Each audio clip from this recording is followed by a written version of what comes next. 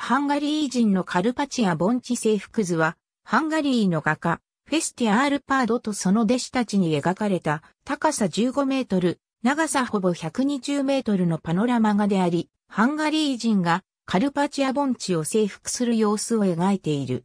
1892年に描き始められ、ハンガリー人のカルパチア盆地征服1000周年の年であった1894年に完成した。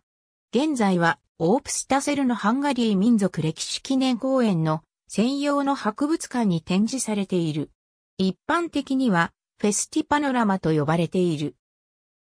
フェスティアールパードは1891年にパリに旅行した際にエドワール・デタイユとアルフォンス・ド・ヌビルが描いたパノラマ画のナポレオンの戦いを鑑賞し、聖書の洪水シーンを同様に描こうというアイデアを抱いた。このような巨大な絵画の費用を知っていた彼の家族は、そのアイデアを聞き、大変驚いたそうである。そこで、ハンガリーの有名な作家であった彼の岐阜の妖怪モールに、ハンガリー人のカルパチア盆地制服を描くように進められたため、そのように絵のテーマをそれに変更した。フェスティは絵に描かれる風景を研究するために、ムンカーチ市の近くにあるハンガリー人がカルパチア盆地に行くために通ったとされるベレツ系渓谷にも赴いた。新聞社などはフェスティの絵に関心を寄せ、定期的にその進捗について報道していた。完成予定日は、早い段階で1893年8月20日に決定した。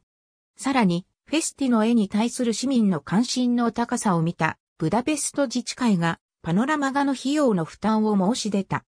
絵が展示される、美術館の建設予定地として貧乏通りと、アッラトケールティ通りの中間にある土地が指定された。ここに、ロツンダというハンガリー人のカルパチア盆地制服図専用の美術館が建設された。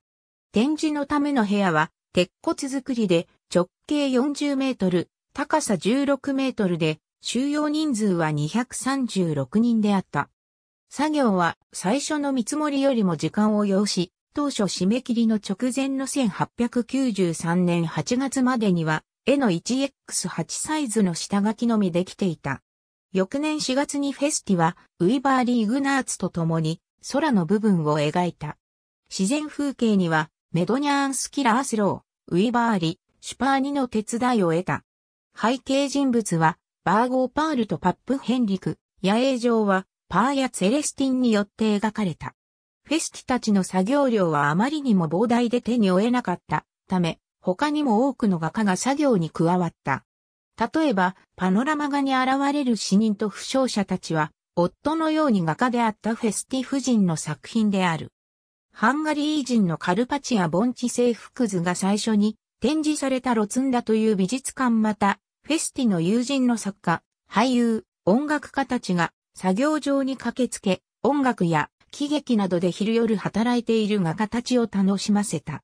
1894年春の完成直前に、フェスティ自身が絵に最後の調整を施した。作業の終了後、フェスティは締め切りを守れなかった罪悪感に苛まれており、さらに制作にあたっては1万フォリントの損失が生じていた。ハンガリー人のカルパチア・ボンチ制服図は、ついに1894年5月13日に展示され、1896年にブダペストで開かれたハンガリー建国千年祭博覧会の主要な展示の一つになり、非常に人気を呼んだ。絵は後にロンドンにも展示された。輸送費は莫大であった上、ハンガリー史の歴史的瞬間を表しているパノラマ画は、その大きさにもかかわらず外国人の関心を引くことができず、ロンドンへの出展は大失敗に終わった。絵は1909年にブダペストに戻り、1909年5月30日に、ハンガリー人のカルパチア・ボンチ制服図の第2の公開式が行われた。しかし、絵は輸送のため破損しており、復元する必要があった。復元の後、ブダペスト市民公園にあった立地が悪く老朽化が進んだ美術館に展示されるようになったことと、活動写真の登場も影響し、絵の人気は下がった。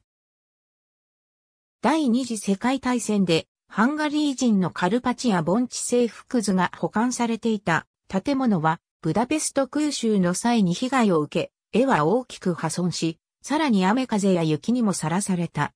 パノラマ画を助けたのは、フェスティアールパードの老いであり、トリアノン条約のために、法律的に外国人となったフェスティシトバーンであった。絵は、複数の部分に分けられ、巻かれた状態で複数の倉庫で保管された。1970年代に国会でオープスタセルのハンガリー民族歴史記念公園の建設案が可決され、絵の復元作業と専用の美術館の建設が始まった。しかし、1979年に急に建設工事が中断し、絵は再び巻かれた状態で保管されることになった。その後、1991年にハンガリー人のカルパチア・ボンチ制服図はポーランドの会社によって復元された。フェスティの作品は1995年以来、オープスタセルの民族歴史記念公園の目玉になっている。現在、ハンガリー人のカルパチア・ボンチ制服図の展示スペースには、ビリニ・ヨーゼフが作曲し、コバーチ・ラースローの弟子たちが演奏している音楽が流れており、広大なこのパノラマ側より現実的な感覚を来館者たちに与えられるよう工夫されている。当時の著名人たちが登場人物として映っているのはこの絵の面白いところの一つである。例えば、白馬に乗っているアールパード王のモデルはフェスティ自身であったそうだ。1760平方メートルの広いパノラマ画に約2000人が描かれている。ありがとうございます。